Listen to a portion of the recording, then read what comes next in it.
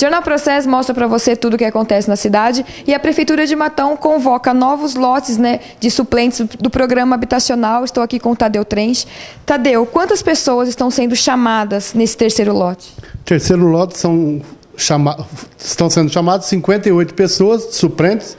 Foram é, inabilitadas 77 pessoas nessa última listagem.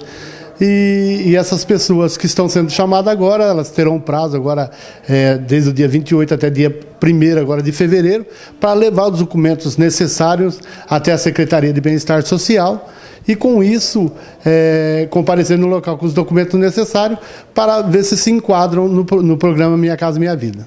Certo, então esse terceiro lote foi devido à grande quantidade de pessoas que não compareceram na triagem do lote anterior. Exato.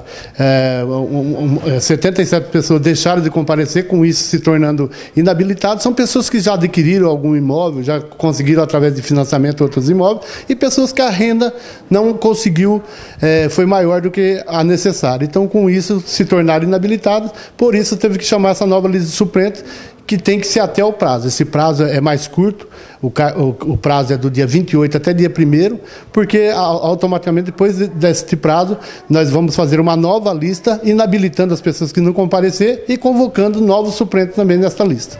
Certo. Então vale ressaltar também a respeito das pessoas que podem fazer as denúncias. Caso saiba de alguém que omitiu alguma informação importante, é só entrar em contato com vocês, né, Tadeu?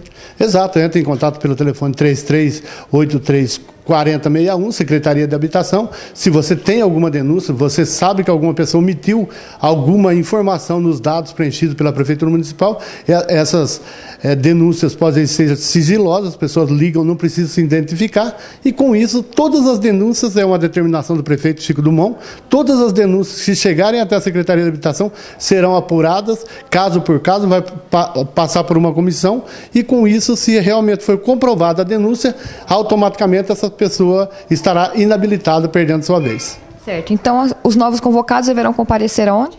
Na rua João Pessoa, é, 663, na, na Secretaria de Bem-Estar Social, munida dos documentos necessários. Qualquer informação pode entrar em contato e eu passar aqui na Secretaria de Habitação para pegar a relação desses documentos. Tá certo. Muito obrigado, Tadeu. Bruna Pique para o Boletim Informativo do Jornal Processo.